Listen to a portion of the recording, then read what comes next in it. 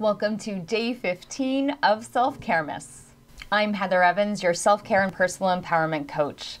To stay updated on all things self care and personal empowerment, remember to subscribe to my channel and click on that bell to get notified when I release a new video every Monday and Thursday throughout the year.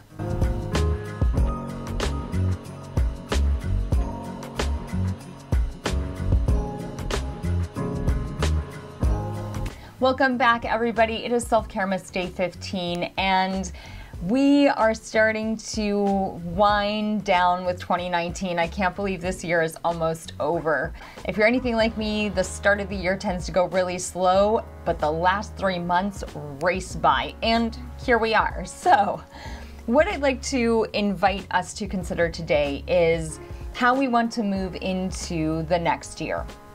And there are two different ways that we can think about this. We can think about it in terms of goals that we want to set or results that we want to see. Setting goals is great. It gives you something to look forward to, to work toward. It gives you a sense of achievement when you accomplish a goal. Here's the thing goals can be a bit nebulous, they can be a bit mushy.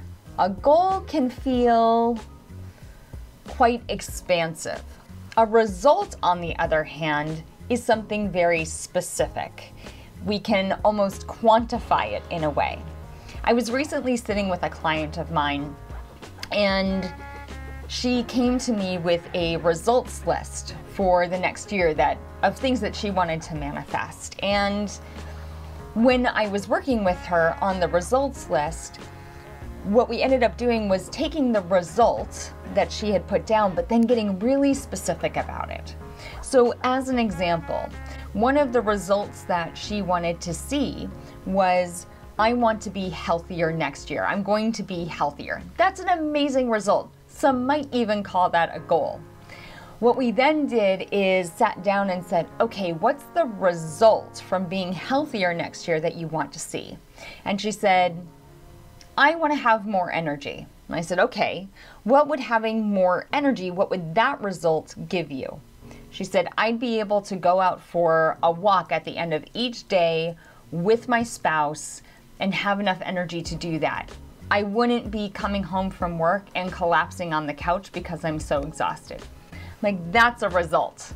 That's a great result. So, what we did is we started looking at the initial set of results that she wrote and then we refined them. And the, the refinement on that one was one of the results i want to see in 2020 is that i have the energy to go for a walk with my spouse at the end of every day. How incredible is that?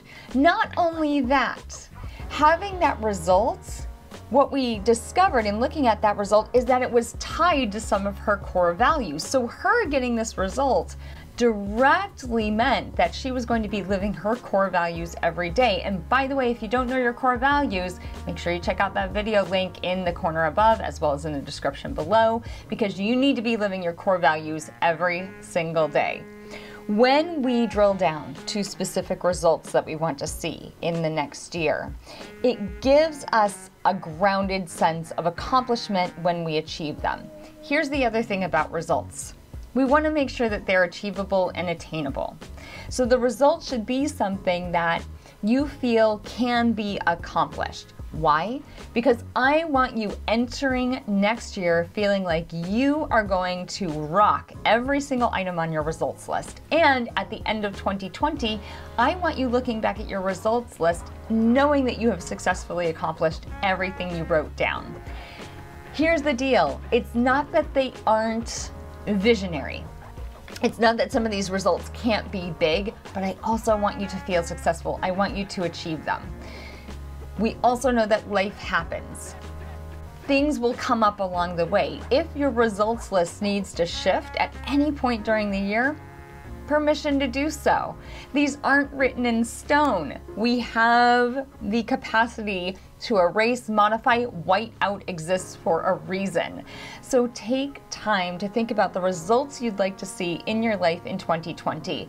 You can do this for your personal life, for your career, for your physical health, your mental health, your emotional health, however you want to think about the results that you want to see It's your list and yours alone. That's your invitation today for day 15 of Self Caremas. If you haven't yet signed up to receive the emails for Self Caremas, there is still time. When you sign up for that up leveling of self care during the festive season, you're automatically entered to win a two hour intention setting session with me. It's you, me, and the vision that you want to carry forward into 2020. Stay ignited out there, stay grounded in your results out there, and I will see you soon. Bye.